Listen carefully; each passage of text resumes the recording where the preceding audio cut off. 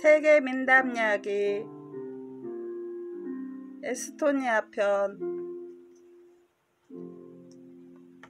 유럽과 러시아 경계선에 달테를 찾으면 그 동쪽 해안을 따라 조그마한 세 나라 라트비아, 라투아니아, 에스토니아가 눈에 들어옵니다. 에스토니아는 그 중에서도 가장 북쪽에 자리 잡고 있는 나라로서 러시아의 한 연방 공화국이었습니다.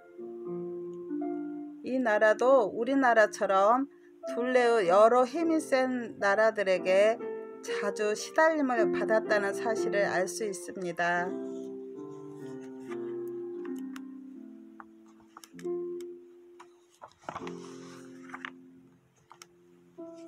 영리한 농사꾼 처녀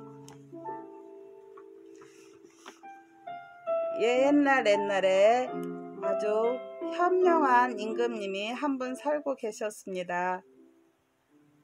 그는 이제 나이가 들어 결혼을 하려고 마음먹었는데 아내가 될 여자는 자기와 같이 영리하지 않으면 안 된다고 생각했습니다.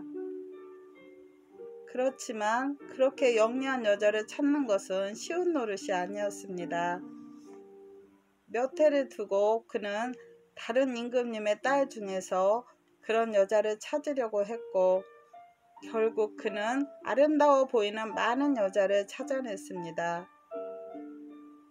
그렇지만 그 여자들에게 몇 마디 말을 걸어본 뒤에 그는 곧 그 여자들이 어리석다는 것을 알아차리곤 했습니다. 마침내 그는 그 여자들 모두가 생긴 것처럼 영리하지는 못하다라고 생각해 버렸어요. 그 다음으로 임금님은 유명한 귀족과 지주들의 딸들에게로 관심을 돌렸습니다. 그러나 이번에도 역시 그는 그 여자들에게서 영리한 말을 한마디도 들을 수가 없었어요. 그녀들이 말할 수 있는 것들이라고는 말과 개에 관한 이야기뿐이었습니다. 그 다음으로 평범한 서민들의 딸들이 시험에 올랐습니다. 그는 그 여자들이 훌륭한 집안의 출신이 아니라는 점에 대해서는 그다지 신경을 쓰지 않았습니다. 왜냐하면 그에게 문제가 되는 것은 오로지 그 여자가 얼마나 영리한가 하는 점이었기 때문이에요. 그들 모두가 훌륭한 처녀들이었으며 솜씨 있게 바느질을 했으며 종달새처럼 예쁘게 노래도 불렀고 음식도 잘 만들 줄 알았습니다. 하지만 임금님이 물어보는 말에 그 여자들은 우물쭈물 아무 대답도 못한 채로 대문 뒤에 숨어버리곤 할 뿐이었습니다. 마지막으로 농사꾼 소녀들의 차례가 되었어요. 그 무렵 한 농사꾼의 앞말이 임금님의 밭에서 붙잡힌 일이 일어났습니다. 앞말은 붙들려 갇히고 농사꾼도 벌금을 물게 되었습니다. 농사꾼은 임금님한테 찾아가서 자비를 구했습니다. 임금님은 이렇게 대답 하였습니다. 두 가지 질문에 대답할 수만 있다면 용서해 주마. 그렇지 못하면 그 앞말은 내 차지가 될 것이고 너에겐 곤장을 내리겠다. 임금님의 질문은 하늘나라까지 가는 길은 얼마나 먼가 하는 것과 달은 얼마나 큰가 하는 두 가지였습니다. 농사꾼은 다음 날까지 문제를 풀어 가지고 오거나 아니면 벌을 받으러 와야 했습니다. 농사꾼은 걱정을 하면서 집에 돌아왔습니다. 그 질문들은 너무 어려워서 그로서는 도무지 풀 수 없는 것처럼 보였습니다. 그는 자기의 앞말을 잃어버린 것은 물론 이려와 엉덩이에 불이 나도록 매를 맞을 것이 틀림없다고 생각했습니다. 그러나 집에 돌아오니 그의 딸이 위로를 해주었고 즉시 올바른 답을 가르쳐 주었습니다. 그 다음날 임금님은 농사꾼에게 약속한 대로 질문을 하였습니다. 하늘나라까지 가는 길은 얼마나 먼가? 그러자 농사꾼은 재빨리 이렇게 대답을 했어요. 예수님께서는 십자가에 묶인 채로 도적들에게 너희들은 오늘 중으로 나와 함께 천국에 가게 될 것이다 라고 말씀하셨습니다. 그러므로 하늘나라에까지 가는 길은 하루 걸리는 여행길입니다. 좋다. 그러면 이제 달은 얼마나 큰지 내게 대답해라. 하고 임금님이 물었습니다. 달을 네 조각으로 나눈 것을 다시 합한 것만큼 크답니다. 임금님으로서는 하찮은 농사꾼이 자기가 낸 수수께끼들을 풀 수 있다는 사실을 도무지 믿을 수가 없었습니다. 왜냐하면 그는 귀족들과 고관들에게 여러 차례 물어보았지만 아무도 답을 말하지 못했었기 때문이에요. 임금님이 물어봤을 때 농사꾼은 자기의 딸이 도와줬노라고 솔직하게 대답을 했습니다. 그 죄는 용서되었고 암말은 풀려났습니다. 농사꾼 소녀의 영리함은 임금님의 마음에 들었습니다. 그래서 임금님은 그 소녀가 이렇게 영리하다면 아마도 그녀는 내 왕비가 충분히 되고도 남을 것이야 라고 생각을 했습니다. 다음날 임금님은 농사꾼의 오두막집을 찾아갔습니다. 농사꾼은 들에 나가 일을 하고 있었기에 아주 예쁘고 사랑스러워 보이는 젊은 아가씨인 그 딸이 임금님을 맞이했습니다. 임금님이 물었어요. 아버지는 어디 계시냐? 아버님께서는 좋은 것을 더 좋게 하시려고 나가셨습니다. 어머니는 어디 계시냐? 자작나무 숲에서 사냥을 하고 계십니다. 잡은 것은 죽이고 잡지 못한 것은 집에 가져오십니다. 너의 언니는 어디 있느냐? 바람에 등을 돌리고 있습니다. 너의 오빠는 어디 있느냐? 땅에도 없고 하늘에도 없습니다. 너야말로 내가 풀어야 할 수수께끼를 냈구나 하고 임금님이 말했습니다. 임금님께서는 수수께끼를 좋아하십니다. 임금님께서는 제 아버님에게도 수수께끼 문제를 내셨죠? 하고 소녀는 대답했습니다. 그렇지만 너는 너가 낸 수수께끼를 풀 수 있느냐? 그러며 하고 소녀가 말했습니다. 아버지가 어디 계시냐 하니까 좋은 것을 더 좋게 하고 있다고 말했지. 방앗간에 계십니다. 곡식을 빻아 밀가루를 반, 만드시죠. 어머니가 자작나무 숲에서 죽이는 것은 무엇이고 집에 가져오는 것은 또 무엇이냐? 벼룩입니다. 너의 언니가 바람에 등을 돌리고 있는 곳은 어디냐? 들에서 쓰레기를 태우고 있다는 말입니다. 너의 오빠가 하늘에도 없고 땅에도 없다면 도대체 그는 어디 있는가? 사과나무 위에 있습니다. 하고 대답했다. 임금님은 말했어요. 그렇지만 잘 듣거라. 내일 궁전으로 오너라. 오긴 오되 옷을 입지도 말고 그렇다고 벗지도 말고 와야 하며 걸어서 오지도 말고 그렇다고 말을 타고 와서도 안 된다. 큰 길로 와서도 안 되고 숲길로 와서도 안 된다. 너가 궁전에 도착하거든 방에 들어오지도 말고 그렇다고 바깥에 서 있어서도 안 된다.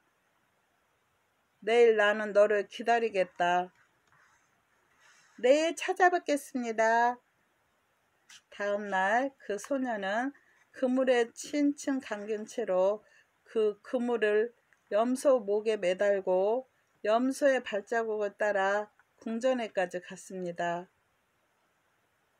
궁전에 도착하자 그녀는 염소로부터 빠져나와 한 발은 문지방 너머로 딛고 다른 한 발은 문지방 바깥을 디뎠습니다. 그러고는 임금님께 인사를 드렸어요. 저 여기 왔습니다. 임금님. 임금님은 깜짝 놀랐지만 자기의 명령이 그대로 지켜진 것을 보고 매우 기뻐했습니다. 이제 그는 이 소녀가 그 어떤 임금님이나 신사 또는 시민들의 딸보다도 몇천 배나 더 영리하다는 것을 알았습니다. 그는 소녀에게 옆방에 가서 그녀를 위해 마련해둔 옷을 입으라고 말했어요. 농사꾼 소녀가 궁정 예복을 입고 다시 임금님 앞에 나타났을 때 임금님은 그녀더러 자기의 아내가 되어달라고 말했습니다. 그녀는 기꺼이 그 말을 받아들였어요. 결혼식 준비가 즉시 시작되었습니다. 그리고 일주일이 채 안 되어서 높고 낮은 사람들을 초대하여 아름다운 결혼식 잔치를 베풀었습니다. 일주일 내내 계속된 잔치가 거의 끝나갈 무렵에 임금님은 신부에게 앞으로 지켜야 할 두 가지를 말했습니다. 그 하나는 그녀가 결코 그녀의 부모님과 관계를 가져서는 안 된다는 것이었습니다. 또 다른 한 가지는 그녀가 결코 임금님인 자기의 일에 간섭해서는 안 된다는 것이었습니다. 젊은 신부는 임금님의 말을 주의 깊게 듣고도 아무 말도 하지 않았습니다. 얼마 동안 임금님은 그의 젊은 아내와 아주 행복하게 잘 살았어요. 그리고 그녀는 영리함으로 해서 널리 칭송을 받았습니다. 그러는 동안에도 임금님의 장인 어른은 매일같이 임금님의 밭에서 암말과 더불어 일을 하고 있었습니다. 그 암말은 새끼 한 마리를 낳았어요. 그리고 어느 날 그 망아지는 임금님의 말을 좋아하게 되어 그 뒤를 쫓아 달아나 버렸습니다. 그리곤 엄마 말한테 되돌아오지 않았어요. 농사꾼은 임금님의 밭을 지키는 사람에게 가서 자기 망아지를 돌려달라고 요청했습니다. 그러나 그는 그렇게 해주지 않았어요. 대신에 그는 망아지가 말을 따라간 이상 이제 망아지는 말의 것이 되었노라고 영리하게 설명해 주었습니다. 농사꾼은 자기의 신세를 한탄하기 위해 임금님을 찾아갔어요. 그러나 임금님은 기분이 언짢아서 밭지기의 말을 그대로 따랐습니다. 농사꾼은 슬픔에 잠겨서 궁전을 떠났습니다. 그는 왕비가 된 자기 딸을 우연히 만났어요. 그녀는 아버지를 위로하면서 도움말을 주었습니다. 그녀는 그에게 기분을 풀고 다음날 저녁 시간에 임금님의 공원에 오라고 말했어요. 거기에는 모래가 많이 쌓여 있을 텐데 채를 가져와서 모래를 채로 쳐야만 한다고 덧붙여 말했습니다. 그 시간이면 임금님은 늘상 공원에 산보를 나가게 되는데 그를 보게 되면 거기에서 무엇을 하고 있는지를 물어볼 것이라고 했습니다. 그러면 고기를 잡고 있습니다 하고 대답하세요 라고 왕비는 말했습니다. 임금님께서 허참 어리석은 사람이로군 하시면 망아지가 순말에게서 태어날 수 있는 것처럼 모래 속에서도 물고기를 잡을 수 있겠죠 하고 대답하셔야 합니다. 그러면 임금님께서는 자신의 잘못을 인정하시고 망아지를 되돌려 주실 것입니다. 그 다음날 모든 일이 왕비가 말한 바대로 되었어요. 임금님은 밭지기에게 망아지를 주인에게 돌려주어라고 명령을 했습니다. 그러나 그와 동시에 자기의 아내가 아버지에게 말을 해줬을 뿐만 아니라 자기 일에 끼어들어 결국 자기의 명령을 듣지 않았다는 사실이 분명해졌습니다. 화가 난 임금님은 자기 아내더러 궁전을 떠나라고 명령을 했습니다. 그렇지만 어쨌든 간에 그는 그녀가 이제껏 훌륭한 아내로서 지내준 데 대한 상으로서 그녀가 가진 것 중에서 가장 아끼고 값진 것을 함께 갖고 떠날 수 있게 해주었습니다. 왕비는 담담하게 임금님의 말을 받아들였어요. 당신의 뜻대로 하겠습니다. 그러나 제가 떠나기 전에 함께 식사를 하고 나서 이베오르 잔치에 몇몇 침주분들을 모셔옵시다. 이 말에 임금님은 기꺼이 찬성했습니다. 왕비는 언제나처럼 즐겁고 유쾌했습니다. 손님들이 가버리자 그녀는 임금님에게 포도주 한 잔을 주었습니다. 그러면서 함께 술을 마시는 것도 이제 마지막이라고 말했어요. 하지만 그녀는 수, 숲속에 잠자는 약을 집어넣었습니다. 숲 속에 잠자는 약을 집어넣어서 임금님은 곧 잠이 들었어요. 그러자 그녀는 하인들의 도움을 받아 임금님을 마차에 싣고 아버지의 오두막집으로 갔습니다. 다음날 아침 임금님이 잠에서 깨어났을 때 그는 처음에 자기가 어디에 와 있는지 알지 못했습니다. 그러나 곧 자기 아내를 보게 되자 그는 왜 감히 자기를 이 오두막집으로 데려왔느냐고 화를 내면서 물었습니다. 임금님 스스로가 허락하셨지 않습니까? 임금님 당신은 제게 그러셨죠? 제게 가장 아끼고 가장 값진 것을 갖고 가도 좋다고 말씀하셨습니다. 그런데 제게 가장 소중한 것은 바로 당신입니다. 임금님은 자기의 영리한 아내를 껴안았습니다. 그런 다음 둘은 다시 궁전으로 돌아갔어요. 그러고는 자기 아내가 그녀 부모님을 만나서는 안 된다거나 자기가 하는 일에 간섭하지 말라는 명령을 두 번 다시는 내리지 않았습니다.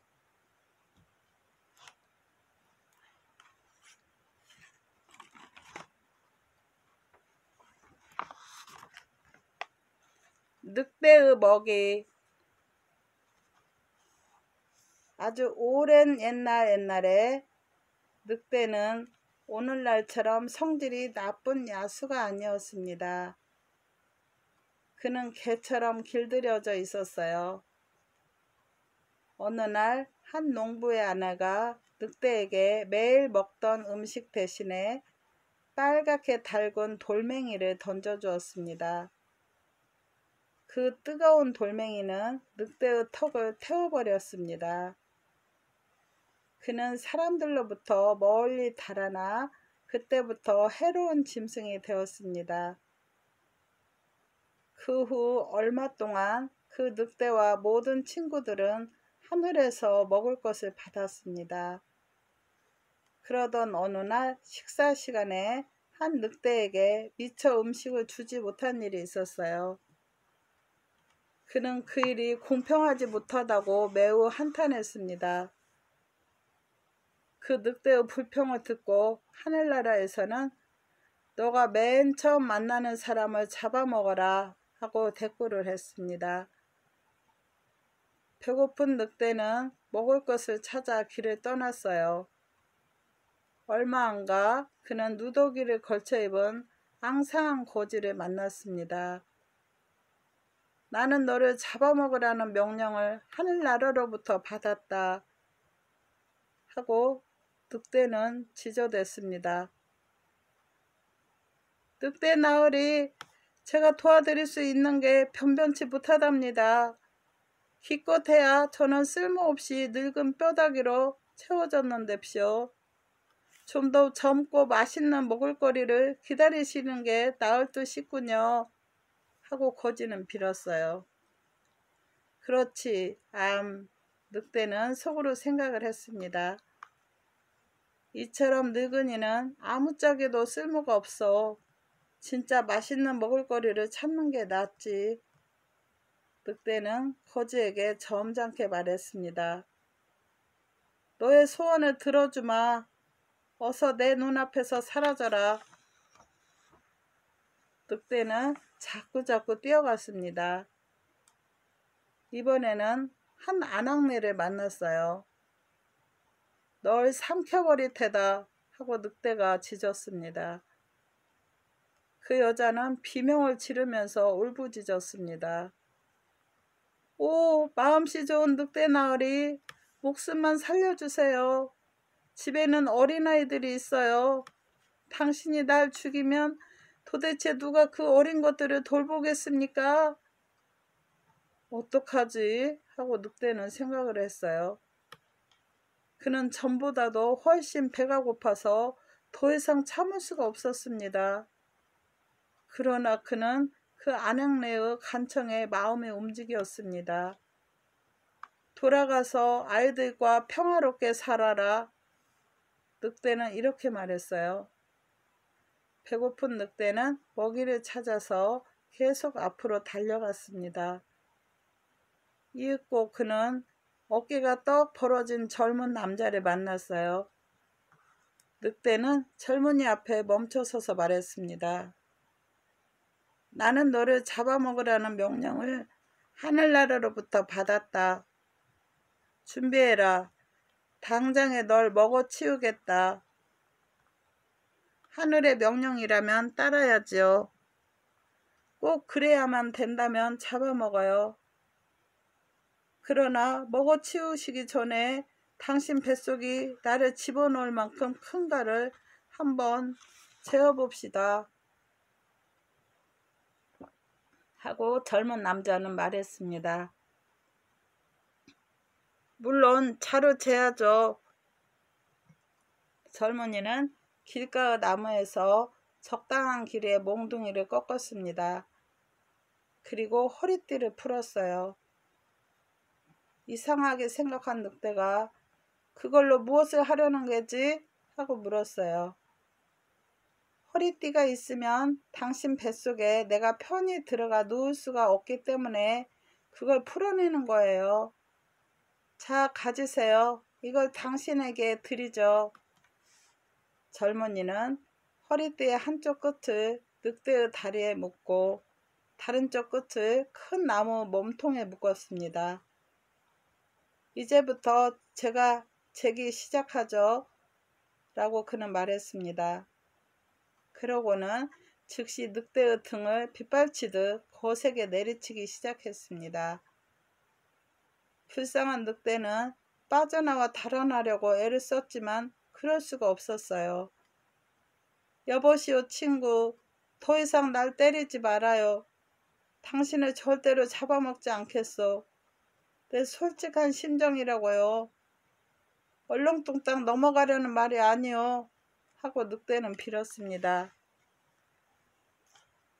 너가 날 잡아먹든지 말든지 간에 좋은 매는 맞아야 하는 거야.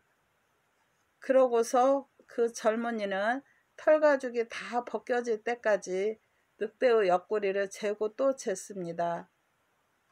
늑대는 분노와 고통을 못 이겨 울부짖으면서 이리저리 몸을 비틀고 날뛰었습니다. 마침내 허리띠가 풀어졌고 늑대는 간신히 달아날 수 있었습니다. 숲으로 되돌아간 늑대는 자기 친구들한테 불쌍한 자기 처지를 털어놓았어요. 그러자 늑대 떼들은 건방진 그 젊은 남자를 찾아내어 벌을 주기로 결정을 했습니다. 그들은 숲을 가로질러 갔어요. 늑대들이 다가온다는 것을 눈치챈 젊은이는 자신이 매우 위험한 지경에 빠진 것을 알았습니다. 그는 번개처럼 재빠르게 커다란 나무 위로 올라갔어요. 성난 늑대들은 나무 아래에 모여 젊은이를 쳐다보고 사납게 으르렁거렸습니다. 그러나 그들은 젊은이에게까지 다가갈 수 없었어요. 그래서 그들은 작전회의를 열었습니다. 죽도록 매를 맞았던 늑대가 의견을 냈어요.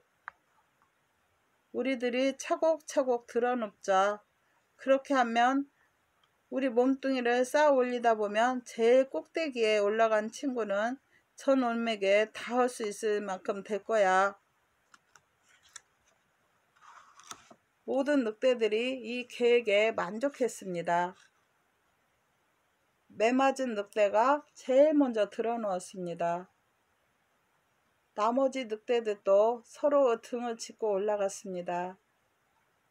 젊은이에게 충분히 닿을 만큼 될 때까지 자꾸자꾸 높아졌습니다. 그때 갑자기 젊은이가 큰 소리로 대들었어요. 이 경을칠 놈아 잠깐만 기다려라. 내가 너의 가죽을 한번 때렸다만 이제 좀 더 때려줘야겠다. 이 말을 들은 매맞았던 늑대는 겁에 질려 벌떡 일어나 달아나 버리고 말았습니다. 그 통의 늑대들은 와그르르 무너져 버렸습니다. 몇몇은 목이 부러졌는가 하면 또 나머지 늑대들도 다리나 갈비뼈가 부러졌습니다. 그들 모두는 걸음아 날 살려라 하고 숲속으로 달아나 버렸습니다. 젊은이는 나무에서 내려와 평화롭게 갈 길을 갔습니다. 그리고 늑대들은 복수를 하려던 생각을 영원히 머릿속에서 지워버렸습니다. 그날부터 늑대는 사람을 보기만 하면 달아나 버렸습니다. 그렇지만 양을 보기만 하면 미쳐 날뛰게 되었습니다. 매 맞은 친구가 묶였던 허리띠가 바로 양털로 짠 것이었기 때문입니다. 감사합니다. 사랑합니다. 항상 평안하시고 즐거운 시간 되세요. 구독과 좋아요는 힘이 됩니다.